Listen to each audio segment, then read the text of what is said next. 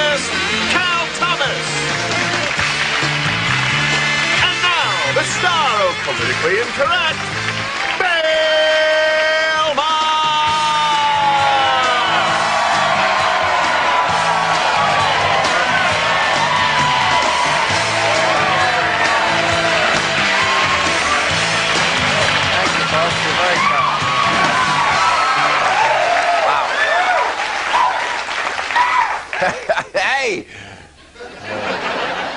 Well, ladies and gentlemen, let me report the news to you. That's what you're here for. It looks like things are becoming a little clearer with finding the uh, terrorists who did the uh, horrible bombings there in Africa the day at the embassies. Two groups have taken responsibility. One is called, get this, the Islamic Army for the Liberation of Muslim Holy Sites. The other group is called, the other group is called the Army for the Liberation of Islamic Shrines. I'm not kidding. It's a little hard to tell them apart. The, the second one appeals to a slightly younger crowd. Uh, they call themselves the Middle East terrorist group that zigs. I don't know. That's-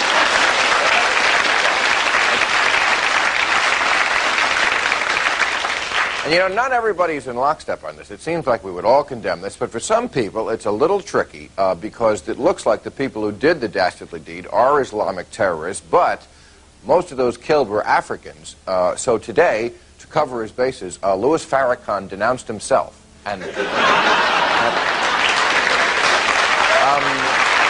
well, now in the uh, Washington soap opera, President Clinton had one victory and one loss today, as usual. Uh, the victory was his lawyer has permission to view Clinton's videotaped deposition in the Paula Jones case. This is important. I want to remember what he said. Uh, and if you watch Clinton's videotape deposition uh, it, and, and you play at the same time Pink Floyd's Dark Side of the Moon, it looks like Clinton is telling the truth. It's really terrific. Yeah. Now, on the bad side, Ken Starr's grand jury continues, and today he had on the stand Harry Thomason. Now, Harry Thomason is one of Clinton's close friends, also a TV producer. Uh, he's the man who produced Clinton's inaugurations and also the show Designing Women. And uh, it's true. No, that's true. Uh, and Coach Clinton. And right now, Harry's working on a, a new animated short explaining the sex scandal to kids. It's called uh, Fun with Dick and Stain. And.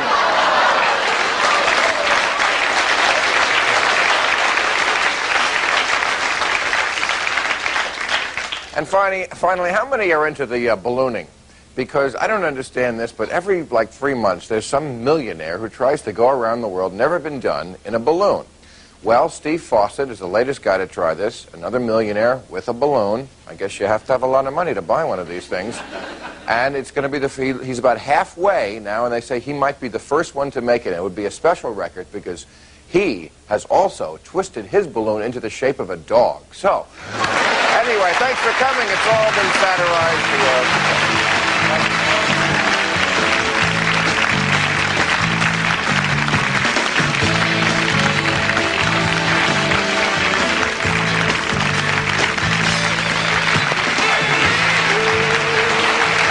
Alrighty, let us meet our panel. She is a law student from Trinidad and Tobago and counts among her recent achievements being the current Miss Universe, Wendy Fitzwilliam. Wendy. Hello. Nice to meet you again. How are you? He is a controversial author and nationally syndicated columnist, Cal Thomas. Cal, well, how are you? Nice to see you. Boy, I feel short. He'll be at the Westbury Music Fair August 22nd, and Billy Crystal's new movie, Analyze This, the king of the belly laughs, Pat Cooper. Pat, how are you? Good to see you again. And finally, an actress and model. She plays Fancy Monroe on the Jamie Foxx show, Garcelle Beauvais. Hello. Hello, gorgeous. How are you? How are you doing? Good to see you again. Okay. Well, as this uh, soap opera continues to unwind in Washington, uh, other people seem to make comments about it. Now, Patricia Ireland, the head of the National Organization for Women, I'm sure you're familiar, said yesterday that Clinton, she kind of put him on warning he should not try what they call the nuts and sluts defense. which basically is what she's accusing the president, and as many have, of doing in the past, which is any woman who comes forward is either labeled a nut or a slut. My question is, what if the person is a nut or a slut? Well, I think Doesn't it'd that- have to be the to fool around with Bill Clinton, wouldn't What's you? that? I said it'd have to be to fool around with the president. I mean, given the given the given the, given the record of what happens to these women. I mean, here you have Harry Thomason coming to town to coach the president on how to tell the truth, including body language. If there's anything Clinton doesn't need help with, it's body language. Good point. Very good point. I This think whole country is concerned about this man getting a side order. What is the difference? Leave the man alone. He let him and go to hell and take care of it.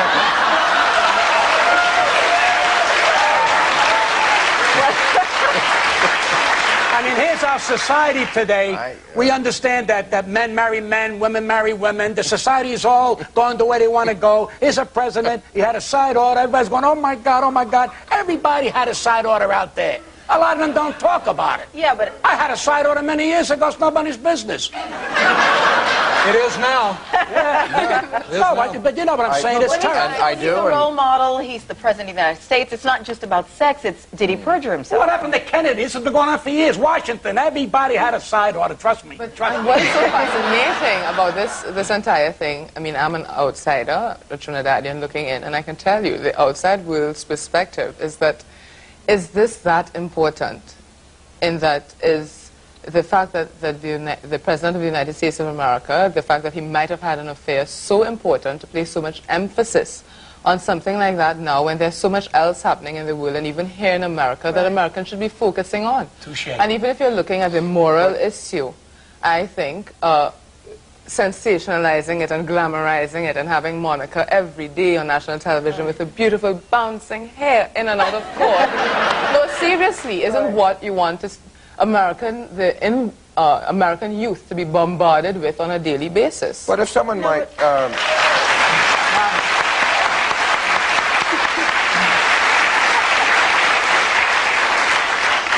Well, I'm glad we all got that off our chest. if I may uh, see if anyone wants to answer the question, however, which is, if your like to, presidency is on trial, do you not have the right to point out if a woman is nutty or slutty? She's nutty. I don't think she's slutty. She's nutty. She's human. She's not a president. She said, let's get it on. He got it on. That's it. Now, to save. Now, what hurts me is to save. Now she saves the sperm. That's a slut.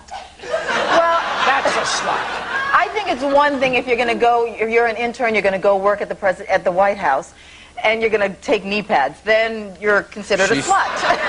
I She mean, said you're that, she said that, you that's are correct. A slut. But I think it's a little nutty if you have sex with someone and you don't get the dress dry cleaned the next day. I mean, what are you holding on to that Yeah, for? Isn't, well, uh, You know? What are you I holding mean- that yes. Yeah, the dress is, Courts are always talking about what a reasonable person would do. Would a reasonable person save a stained dress, No. send it to their mom? No. I mean, does the president not have the right to bring these things up? that's Yeah, taking bonding yeah. a little too far, don't you think? Taking what? Bonding a little too far. You know, in my day, Bill, Oh, growing up, if you your- got a yeah, if you got a stain on a dress, you take it to the cleaners. Now it goes to the FBI crime lab. There you go. Boom, boom. It depends on who stained it, though. I'll leave the comedy to you, I think. All right. Um, we'll take a commercial. We'll be right back.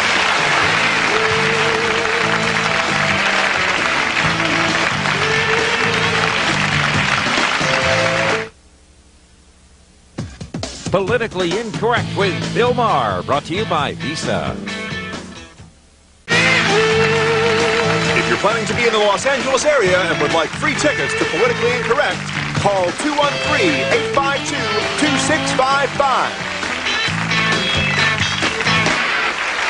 All right. Um, Garcelle, you mentioned role models, and I have read more than one column in the last two weeks about the deaths of, okay, Bob Smith, Buffalo Bob Smith died, and Roy Rogers died, and Shari, Shari Lewis Lewis. died. Yes. They all Robert died. Young. And Robert Young. Yeah. And even Alan Shepard. I mean, uh, here was one of the original seven astronauts. These, these were people who carried uh, as a sacred trust something good and wholesome and moral. Television was a welcome guest in our home. When I was growing up, your parents could sit down with you and watch it. Uh, now they have to take the mute button to the news. There's so much garbage on. But these were these were men and women who really represented something good and uplifting and wholesome, and you wanted to be like them. Well, maybe not like Howdy Doody, but Right, but I mean, the, the, what I've read from people is sort of saying that we don't have any of that anymore and we'll never see their like again. It's over. What? It's over. Kemosabe is over. The Lone Ranger is over. It's over. Face the facts. This is the thing So today. what do we do? Yeah, This is the thing What today. I never thought it was It's got to What do you start mean from the over? family, the mother and Absolutely, father. I agree with when that. kid is born, shut up and keep your mouth shut. That ends it. That You ends it. You can't do that in the it. I do it. 90s. You know what happens? They don't pay attention. You can't the do that. amazing thing, though, Bill, is that the shows But- that are Touched by an Angel, for example, and Promised Land on CBS Oh, are doing please. very well in the ratings. Well, you know, the critics and some of the other folks can knock it, but the people are watching it. Even in reruns this summer, it's in the top 10. So what's the message there? People will be attracted to good So stuff. is Jerry Springer. Yeah, that- Well, yeah, so- yeah, that's scary. You know, that's, uh, please. Plus, if But that these... proves something, Bill, What that happened? I think uh, the, the studios here, etc., have a responsibility to the people to give them good, entertaining stuff that is good, generally. no, seriously, you will look at it. You are from another country. That's right. Exactly. That's right.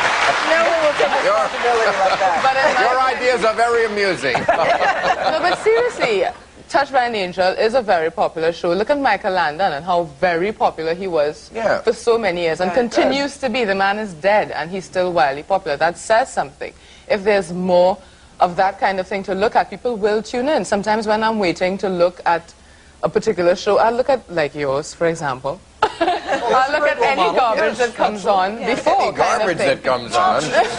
No, thanks seriously, people do I think consume whatever you give them. Yeah. So I think you have a responsibility to put some sensible programming Wow. out there. there, right. Oh, yeah, well, There should be sensible. There should be sensible program, but at the same time, people want to see sex and drugs, but we have to find the right time to show that. And I think role model starts not only in the home, but also at school. I mean, the kids are at school all day.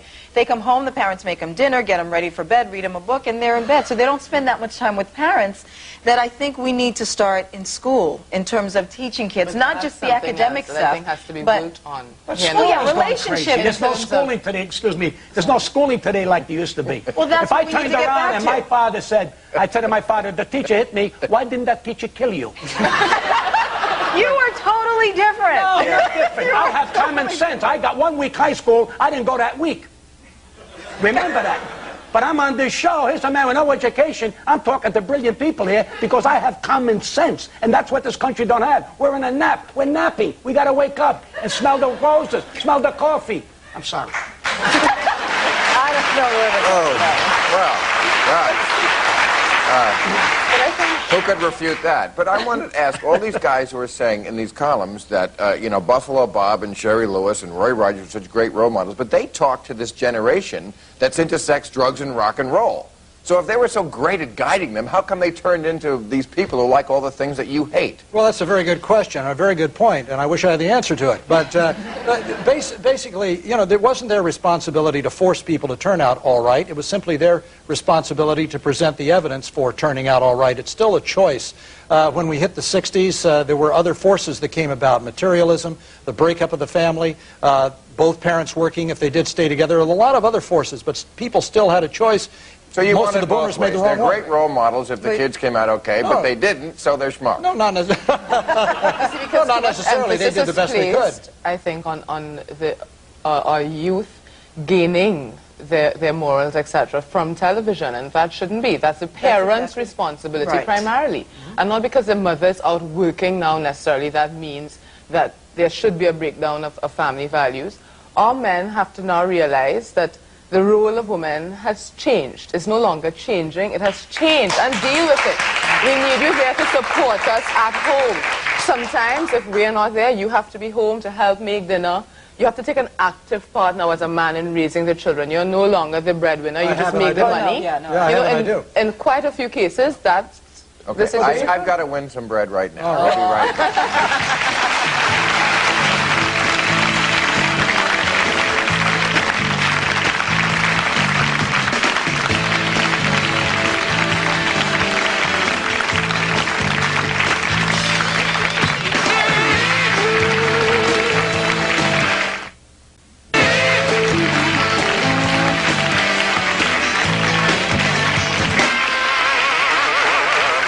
uh, a lot of people are up in arms about Janet Reno for a lot of reasons, but one thing she did recently was she decided not to interfere with Oregon's new assisted suicide law. Uh, and that law, I think, is the only state in the country now, you probably know better, where doctors can legally assist someone if they want to die with dignity. That ought well, you know, that's one of those catchwords, death with dignity. Everybody's preoccupied with death now. First they, first they uh, establish a right, and then they've gone beyond that in Oregon. Now we're into an entitlement. There are actually people who want taxpayers to Right. subsidize them killing themselves. Whatever happened to the bridge or the head in the oven?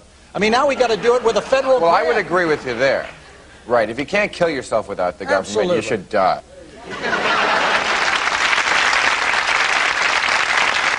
But some people don't have the absolute wherewithal to kill themselves. They need a doctor to help, and I don't understand why anyone would want to stop them. If you're, especially Well, if, I, think if you're terminally ill, if you're really in a lot of pain, and the family, Right. everybody's talked about it and they've all agreed, but I think if we start letting people decide they want to die at any time, then we're in trouble. patient is their own worst know, doctor. and I Once you think- cross this line where doctors become killing agents, I hate to bring up the Third Reich and Nazi Germany, but this is what Hitler did. You took the extreme cases. You took the retarded. You took the gypsies. You took the physically and That mentally is such handicapped. a preposterous And no, it isn't. comparison. No, not if you read It the, is- not if you read the literature, Bill. They got them to do the extreme cases. Then it became easier to do the so-called easier cases. that's a state Yeah, who wanted to kill people. Yeah, well, it had This to is- start in the medical community first. They had to give permission to the state to do it, and that's what the debate about is, in, is about in this country. Does the state have a right and an obligation to guarantee the right to live at all uh, areas of life, at all extremes of life, or is there a What moment where about they- the people? Don't they have the right to decide when they want Sure, to end but there's their a life? difference Isn't between that yes, but there's a difference between my deciding I don't want any uh, extraordinary efforts made to preserve my life and saying I want a doctor to exterminate it now. That's It's a very the same fine line. No, it isn't. It is the same No, thing. doctors It's a become bunch of killing semantics. agents. What? No, it's not. Semantics are very important in this debate because if the doctor becomes a killing agent at the extreme, once the principle is established that it moves quickly back to other areas that are less extreme. And the reason I pointed out the Third Reich is that's So- exactly what happened there. So are you going to be killing people for dandruff? That's your. That's it's the Well- slippery slope. Or, you know, I hate that slippery. Well- that slippery slope argument. I'm so tired of it. If people do A, they're going to do Z. It just doesn't. there's a truth, though, to some extent. Once you, the legislature gets involved and you legalize something, and it seems to say, make it uh, to appear to the general public that it's okay to do that, maybe, and then you desensitize people to the value of human life. It could have a domino effect. It, It could. has, I think, already in America and in, in, in several other uh, areas of, of, of, of human life, like the whole abortion issue and that kind of thing. but anything just- could have a domino effect. You know, you drink So beer, you let the could become a junkie. Stay out of it. Let, but Eat a let, steak, you could become a but cannibal, let but the we don't. stay out of it. Then, okay. Eh? Why doesn't the government trust the people? The politicians always say it when they run for office. We have the wisdom of the people. the But then when they do something like that, then suddenly the people aren't so wise. Well, I think Bill Clinton has proved that he doesn't have the wisdom of the people, wouldn't you say? What do you mean? Well, he's getting in there singing in the Oval Office, Baby, Baby, Get Down on My Knees. Cal, I thought you were going to leave the joke Yeah, for Mr. exactly. Cooper. Well, I, I, couldn't, I couldn't resist that. you know, couldn't resist. When you come from Washington, every day is a joke now, Bill. Right. Unfortunately. Well, I desensitize people, and that's an area that uh, the legislature should not really get involved in. Yeah, who shouldn't get involved in it? You, that's right. You should, No, the government force- shouldn't get involved in it, or the doctor shouldn't get involved. the the government should not get involved in it. It shouldn't be a matter of if you want to do this, and Right, so you really leave it wants you to between the it, patient and his And doctor. doctor. Is that what you're saying? Then Yeah. you're for assisted suicide. No, I'm not really for assisted suicide either, because where I come from, uh, that's absolutely taboo, unacceptable. Right. You know, uh, for me to deal with that, just that concept, that's something way out there for me. I can't even understand how it's gotten to the point in America where we're talking about government funding for assisted suicide. Right. We're dealing with human lives. Right. Okay. You Well, I got to take a commercial or the network personal. will kill me.